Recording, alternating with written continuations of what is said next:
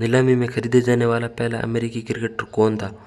Option A, Saurabh Netravalkar option B, Steven Taylor. Option C, Timil Patel. Option D, Ali Khan. इसका right answer option D, Ali Khan.